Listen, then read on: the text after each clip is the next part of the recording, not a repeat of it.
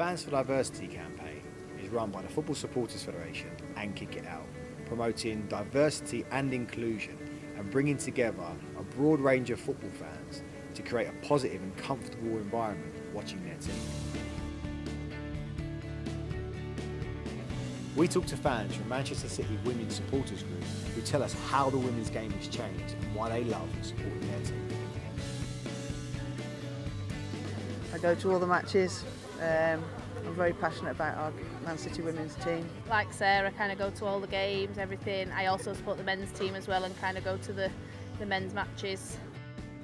I went along to a Man City ladies match and I just thought they're so good I've got to go back and that's how I got more and more interested in Man City women but it, it's just the atmosphere and the, just the gameplay is just just unbelievable and that, I think that just draws people back. The women to me is just another part of Manchester City. It doesn't matter to me that it, it's women playing football.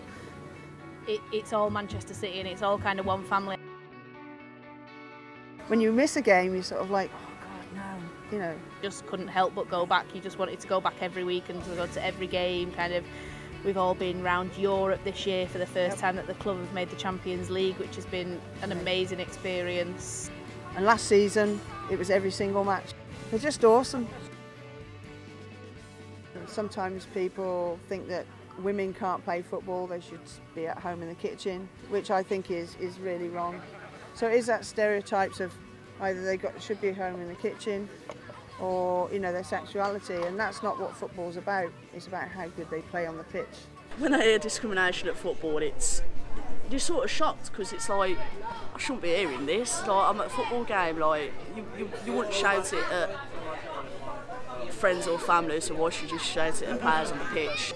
More things need to be done more focus needs to be put on sexism and homophobia and issues that are still going on and they're still hurt. At Kick It Out, we tackle discrimination whilst promoting inclusion. We empower football fans, helping them to raise awareness of the importance of diversity and inclusion in the game. The concept of football being a sport that welcomes all is a big part of our work. Here we've managed to put a coach on, kind of got everybody involved, which means everybody's together travelling down for the match. So you kind of build up that little bit of atmosphere on the coach here on the way.